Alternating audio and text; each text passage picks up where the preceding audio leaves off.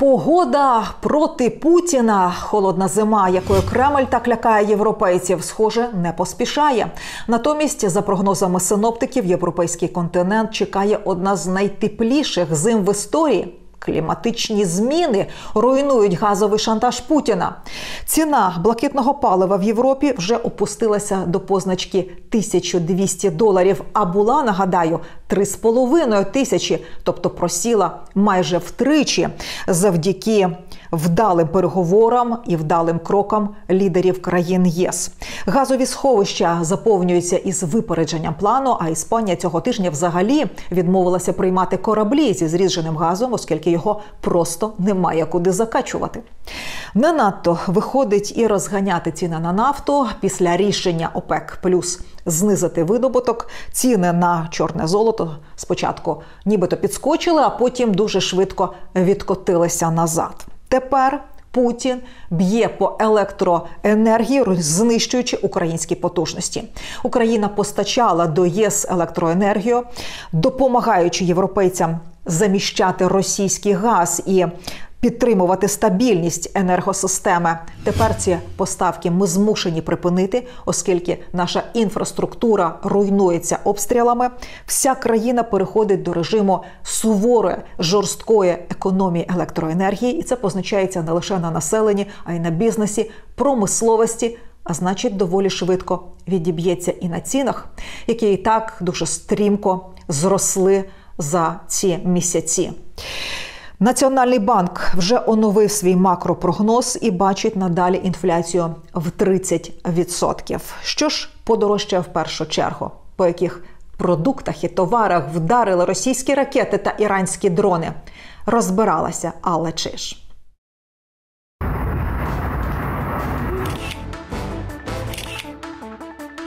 Удар по енергетиці. Прилетіла ракета, бум, вимкнули. Чи залишаться виробники харчової продукції без електрики? Якщо змінити графік навіть на півгодини, корови дадуть значно менше молока. Чи є у виробників план дій на випадок форс-мажору? Це додатковий щит, який дозволяє знижи, знизити витрати тепла. Та як перебої зі світлом позначаться на гаманцях українців? Ой, давно вже не купляла. Делікатес тепер. Ну так. Ось тут стоїть генератор, а за рогом цистерна дизеля, які допоможуть цій фермі працювати в екстремальних умовах. Та чи готові до такого інші підприємства? І як перебої з електрикою вплинуть на ціни у супермаркетах? Вітаю вас! Мене звати Алла Чіш. Це факти тижня. Підписуйтеся на нас в Ютубі, щоб знати більше.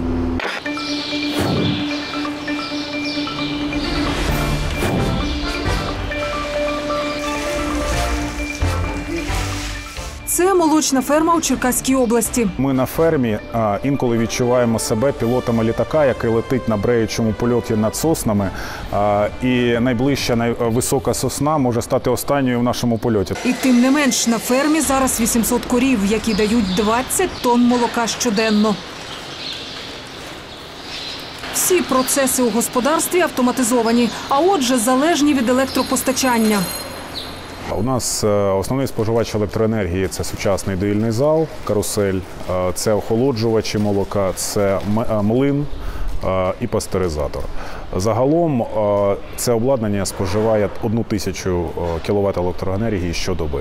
Тому тут запаслися дизель-генераторами на випадок відключень, бо ж найменше відхилення від режиму і все піде шкереберть. Процес доїння дуже відповідальний. Якщо змінити графік навіть на півгодини, корови дадуть значно менше молока. І аби відновити надої, піде щонайменше місяць. Але як запевнили факти тижня, тут готові навіть до тотального блекауту. Критична інфраструктура, яка працює на виробництво молока, вона у нас буде забезпечена завжди. Ем, е, Постраждають речі, які е, дають комфорт людям, а в першу чергу опалення е, і там чайники, побутова техніка. Це прийдеться вимикати. А також зростуть виробничі витрати, каже головний енергетик господарства. Ну, дизелем запаслися, да, але ж дизеля він дуже їсть багато, можна сказати.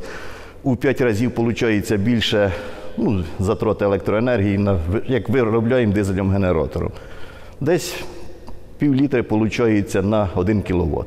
А значить, зросте і ціна молока. А це вже теплиця в Запоріжжі. Тут вирощують огірки, помідори, перець та інші овочі. І теж потребують безперебійного енергопостачання. Перше, що зробили, придбали генератори. Другий крок знизили тепловтрати. Якщо ви звернете увагу, у нас плівка одна, плівка друга, і ось у нас знаходиться третя плівка. Це додатковий щит, який дозволяє знизити витрати тепла під час вирощування основних культур. Крім того, закупили енергоощадні лампи. Це лампи для досвідчування на основі світлодіодів, так звані LED-лампи. Вони, кожна лампа має різний спектр. За рахунок цього ми намагаємося отримати максимально наближений до сонячного світла, і це дозволить нам. Заощаджувати електроенергію. Вони більш економні, на старті вони дорожчі. Тільки от біда кажуть, їхньої потужності не вистачить на те, аби виростити городину взимку, коли практично немає сонця. Ті ж лампи, які використовували раніше, споживають стільки електроенергії, що вирощування тепличних овочів вийде в п'ятеро дорожчим. А отже, вони будуть просто неконкурентними. Ринок заполонить імпорт.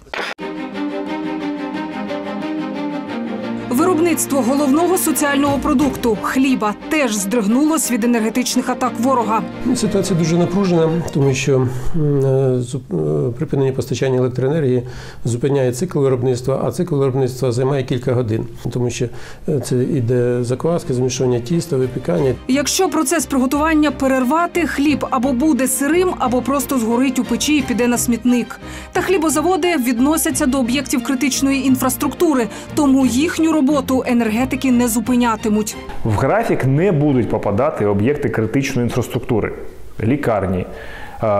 Водопостачання, водовідведення, там якісь критично важливі соціальні об'єкти, як хліб, які випікають, тому що вони є в пріоритеті.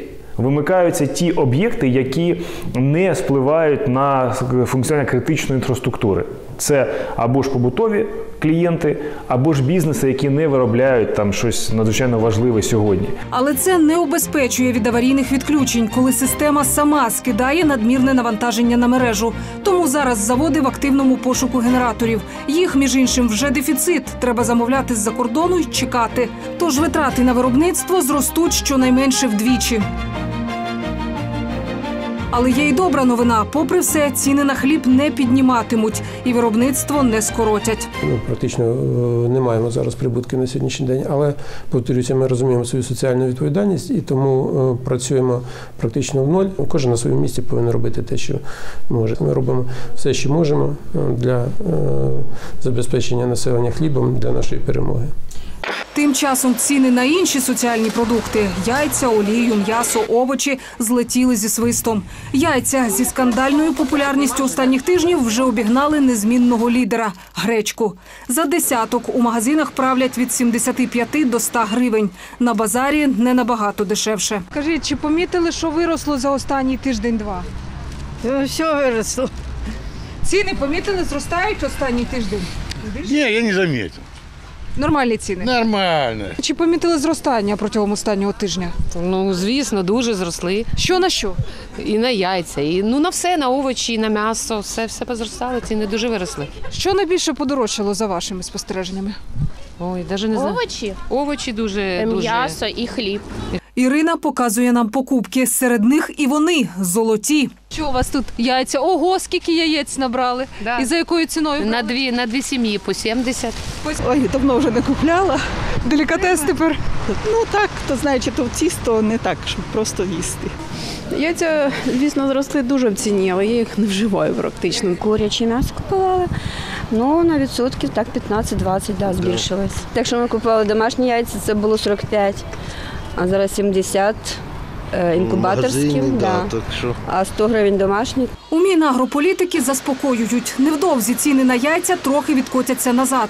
Овочі борщового набору суттєво теж не подорожчають, каже Олексій Дорошенко. Інакше попит впаде. Більшість підприємств будуть тримати невеличкий обсяг, який імпортується. А ми ж з вами розуміємо, що ми вже багато років імпортуємо значну частину овочів, навіть борщового набору за кордону, і якраз ці підприємства будуть замовляти їх за кордоном е, по мірі того, як в цьому буде необхідність, і це буде гарантувати нам не підвищення цін або незначне підвищення цін. Будуть страждати виробники, буде страждати бізнес, але для нас, як для звичайного покупця, це не дуже відобразиться на е, кінцевій ціні.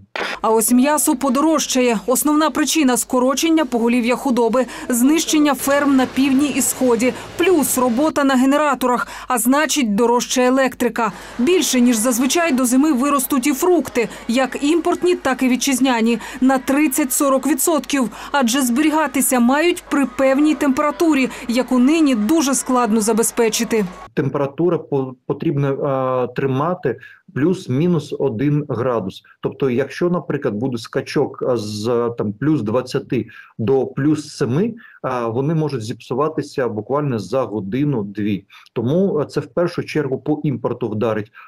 На дворі дев'ята вечора, і в моєму будинку неподалік від центру суцільна пітьма. Електрику вимкнули близько двох годин тому.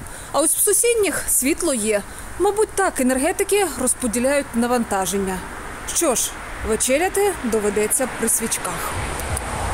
До чого це я? Річ у тім, що в моєму мікрорайоні кілька продуктових магазинів, і всі вони зараз без світла з повними холодильниками замороженої продукції. Кілька таких циклів заморозки-розморозки, і вона повністю зіпсується. Тож маркети намагатимуться продати її якнайшвидше і, можливо, робитимуть знижки. Головне бути уважним і не купити непотріб. Якщо вам сподобалося це відео, ставте лайк і коментуйте. Це допоможе робити більше цікавих матеріалів для вас. Побачимося на фактах тижня.